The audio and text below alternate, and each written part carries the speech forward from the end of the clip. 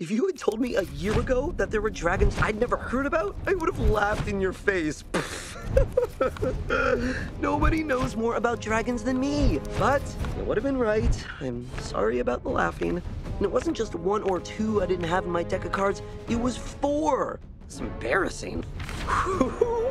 this first one is a giant beast, one of the biggest land dragons. Standing up from the ground to his great big antlers, the Crimson Goregutter adult is about 8 Viking Chiefs tall with an 18 Viking Chief wingspan.